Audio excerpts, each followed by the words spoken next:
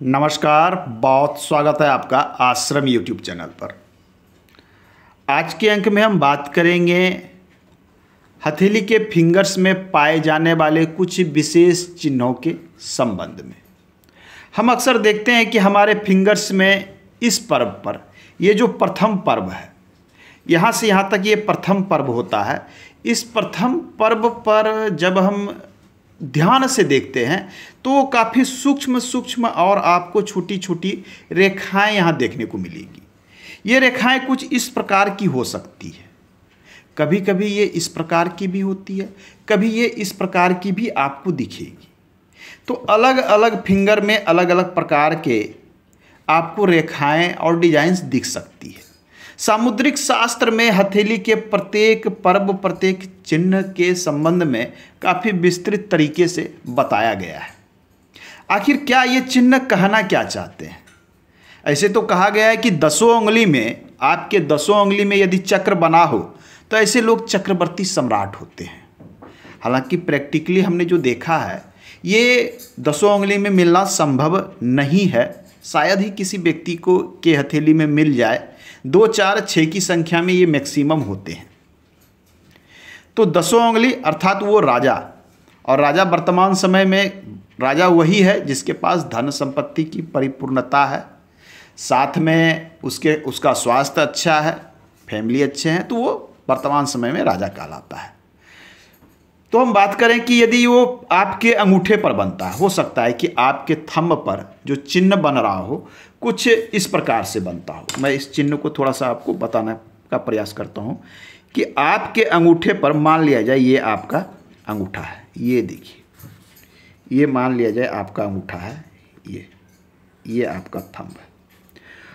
और ये आपका प्रथम पर्व। मैं प्रथम पर्व की बात कर रहा हूँ। यहाँ से यहाँ तक प्रथम पर्व कहलाता है।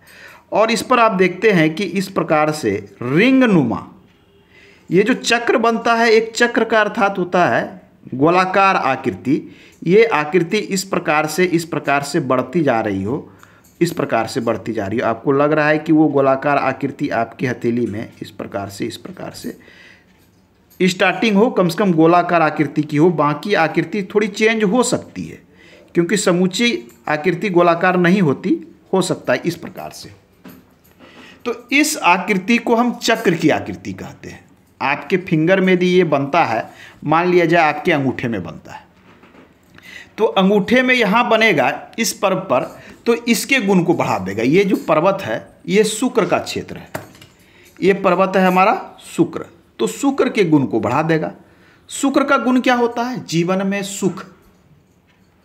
आपके जीवन में जो सुख होती है, भौतिक सुख सुविधा जितनी भी होती है, चाहे वो अच्छा रहन सहन हो खान पान हो सुख सुविधा हो, मनोरंजन हो, वो सारा शुक्र देता है। फैमिली का सुख हो, पारिवारिक सुख, वो शुक्र देता है।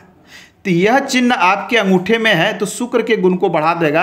अर्थात आपको जीवन में भौतिक सुख सुविधाएँ काफ़ी बढ़ जाएगी और इस क्षेत्र से रिलेटेड अच्छे घर, वाहन, रहन सहन से कोई समस्या आपके जीवन में नहीं आने वाली। यही चिन्ह यदि आपके तर्जनी पे बन जाए, ये तर्जनी है आपका, जिसे हम गुरु की उंगली भी कहते हैं, या बृहस्पति का की उंगली या इंडेक्स फिंगर कहते हैं। मान लिया जाए यहाँ चक्र बन रहा है। इसी प्रकार की आकृति आप देख रहे हैं कि यहाँ दृष्टिगोचर हो रहा है। तो यहाँ बनना, यदि यहाँ चक्र है तो आप देखेंगे कि गुरु पर्वत की स्थिति यहाँ पर शुभ है। ये उभार लिए हुई है। ये जनरली देखने में मिलता है कि चक्र बना है तो पर्वत की स्थिति भी अच्छी होती है। और ये चक्र इस पर्वत के गुण को बढ़ा देता है। गुरु ज्ञान का प्रतीक है, गुरु नॉलेज का प्रतीक है। गुरु समाज में एक तरह से प्रतिष्ठा का प्रतीक है। पद प्रतिष्ठा, मान सम्मान गुरु से देखते हैं। आध्यात्मिक नॉलेज शिक्षा, ज्ञान, ये सारा गुरु देता है। साथ में राजनीतिक सफलता गवर्नमेंट सेक्टर से जुड़कर वर्क करना, ये सारा चीज़ गुरु देता है। तो यहाँ पर चक्र बनना इसके गुण को बढ़ा देगा, बृहस्पति के सभी गुणों को बढ़ा देगा, गुरु बृहस्पति के। अर्थात सात्विक गुण को ये काफ़ी बढ़ा देगा। और यदि ये चक्र आपके हो सकता है कि इस पर बन जाए, ये जो फिंगर है आपकी, शनि पर बन जाए तो शनि क्या है? कर्म का क्षेत्र है। तो यहाँ कर्म बढ़ जाएगा, भाग्य का क्षेत्र है, भाग्य बढ़ जाएगा। अर्थात धन कमाने की प्रवृत्ति, अच्छे बिज़नेस गंभीरता, शांत होकर वर्क करना, ये सारी चीज़ें शनि बढ़ा देगा। परंतु एक ही व्यक्ति के अंगूठे, तर्जनी, ये सारी उंगलियों पर चक्र मिलना करीब करीब नामुमकिन सा है, नहीं मिलता है। हाँ कोई व्यक्ति मिल सकता है, ऐसा नहीं कि नहीं मिलता है। मिलता है, हो सकता है कि आपके दस फिंगर मिला के सात आठ में ये हो हो सकते हैं मैक्सिमम हो। चक्र की संख्या जितनी बढ़ेगी, बुद्ध पर आ जाती है तो बुद्ध व्यापारिक गतिविधि को दिखलाता है, बुद्ध मैनेजमेंट को दिखलाता है। कार्य करने, कराने की क्षमता लोगों से किस प्रकार से वर्क लेना है, समझाना है मैनेजमेंट किस प्रकार से करना ये बुद्ध देता है। तो बुद्ध में चक्र हो, साथ में शनि पर भी चक्र हो तो ऐसे व्यक्ति, बड़े व्यापारी मिलेंगे आपको। आपके कनिष्ठका पर चक्र है और आपके शनि मिडिल फिंगर पे चक्र बना है। तो ये धन संपत्ति और ये मैनेजमेंट दोनों मिलाकर एक व्यापारिक कॉम्बिनेशन बनाता है। व्यवसायिक रूप से ऐसे व्यक्ति काफ़ी सफल मिलेंगे, जिनके लिटिल फिंगर और मिडिल फिंगर पर चक्र बना। तो ये कॉम्बिनेशन इसी प्रकार से वर्क करता है। आपके सूर्य पर यदि चक्र बना है तो ऐसे व्यक्ति का नाम बहुत ज़्यादा होगा। ब्रांड होगा, नाम होगा, लोग दूर दूर तक जानेंगे। इनके किसी विशेष कर्म या कला के कारण इन्हें लोग दूर दूर तक जानेंगे, यदि सूर्य पर बनता है। दसों उंगली में बनता है तो ऐसे लोग चक्रवर्ती सम्राट कहलाते हैं। अर्थात उनके जीवन में सभी सुख सुविधाएँ होती है। नंबर ऑफ़ चक्र आपके दसों फिंगर, दाएँ बाएँ दोनों मिला के जितनी अधिक बढ़ेगी, आपके जीवन में स्थिरता उतनी अधिक रहेगी, धन संपत्ति की परिपूर्णता रहेगी। आपके अंदर में मान लिया जाए गुरु पर है तो गुरु से संबंधित पद प्रतिष्ठा मिल जाएगा, शनि पर है तो धन मिल जाएगा बुद्ध पर है तो व्यापारिक गतिविधि, बड़े प्रतिष्ठान हो जाएँगे आपके, व्यापारिक गतिविधि बढ़ जाएँगे, सूर्य पर है तो आपका नाम बढ़ जाएगा, और शुक्र यहाँ अंगूठे पर बना है तो सुख सुविधाएँ बढ़ जाएगी। ये तो हो गए हमारे चक्र के। परंतु सभी उंगली पर चक्र नहीं है, बहुत फिंगर पे आप देखेंगे तो कुछ इस प्रकार के भी चिन्ह आपको मिलेंगे। ये देख लीजिए। आप देखें तो कुछ, मान लिया जाए एक छोटा सा ये मिलेगा, लंबा जैसा। और आपको लगेगा कि सारी रेखाएँ कुछ इस प्रकार से, इस प्रकार से इसे घेरते हुए ये निर्माण कर रही है, ये। ये इस प्रकार से। इस चिन्ह को शास्त्र में संघ का चिन्ह कहा गया। जिसमें ऐसा लगेगा कि आगे का भाग नुकीला है और ये चारों तरफ़ इस प्रकार से, इस प्रकार से राउंड से बढ़ते जा रहा है। जो आप चिन्ह ये देख रहे हैं, ये सेम चिन्ह है। इसे कहा गया शंख का चिन्ह। ये शंख है और ये क्या है? चक्र है। ये सबसे अधिक शुभ है। शंख का चिन्ह भी शुभ माना जाता है। परंतु इसके तुलना में शंख का जो चिन्ह होता है, इसके तुलना में कम होता है। अर्थात आपके फिंगर पे अधिक चक्र है तो ये अधिक शुभ है। और यदि शंख अधिक बना हुआ है तो ये सामान्य से सात शुभ है। मतलब बहुत अधिक नहीं है, लेकिन ये नुकसान नहीं पहुंचाता, पर्वतों की क्षमता को घटाता नहीं है और उसको बनाए रखता है। तो ये सामान्य अवस्था में शुभ है, ये विशेष शुभ है। अब आपको देखना है कि कितने फिंगर में शंख बने हैं, कितने फिंगर में चक्र बने हैं। शंख की संख्या अधिक है तो ये अधिक शुभ है। चक्र की संख्या अधिक है तो सामान्य में सुख है। मतलब ना ऊपर के स्तर पे हैं, ना नीचे के स्तर पे हैं। आप मध्यम वर्गीय जीवन जी सकते हैं। परंतु कई बार देखते हैं कि कुछ अलग प्रकार का भी हमें चिन्ह देखने को मिलता है। उस चिन्ह, जो एक तीसरे प्रकार का आपको चिन्ह मिलेगा, वो देखिए कुछ इस प्रकार से। मान लिया जाए, ये ये आपको इस प्रकार से मिलेगा। तीसरे प्रकार का चिन्ह जो मिलता है ये इसे सीप कहा गया शास्त्र में इसे सीप का चिन्ह कहा जाता है। इसकी कोई सर्टेन आकृति नहीं होती है। ये केवल इस प्रकार से, इस प्रकार से आपको दिखेगा कि हाँ ये रेखाएँ मिल रही है। ना ही ये गोल है, ना ही चक्र है, इस प्रकार से। तो इस प्रकार का चिन्ह मान लिया जाए, ये आपका फिंगर है। ये हो सकता है आपका फिंगर है।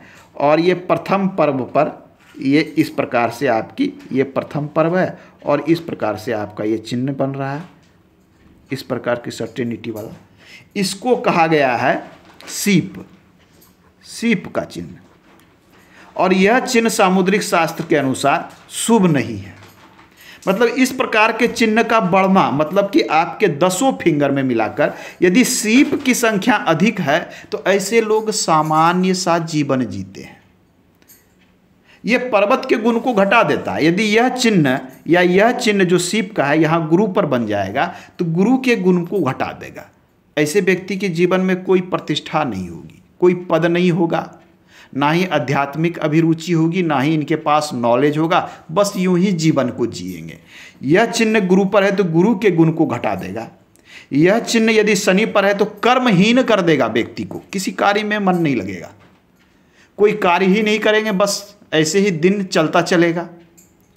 सूर्य पर है तो सूर्य के गुण को घटा देगा, अर्थात इसका कहीं कोई भी ऐसा कार्य इनके जीवन में नहीं होगा कि लोग इसको नाम से जानेंगे कि फलाना व्यक्ति है। बुद्ध पे होगा तो मैनेजमेंट के गुण नहीं होंगे, व्यापारिक गुण नहीं होंगे, किसी कार्य को करने में मन नहीं लगेगा। तो सीप की संख्या यदि आपके फिंगर पर बढ़ रही है तो यह शुभ चिन्ह नहीं है। ऐसे लोग सामान्य सा जीवन जीते हैं, बिल्कुल साधारण जीवन जीते हैं, परिश्रम करते हैं, काम करते हैं और खाना खा के सो जाते हैं।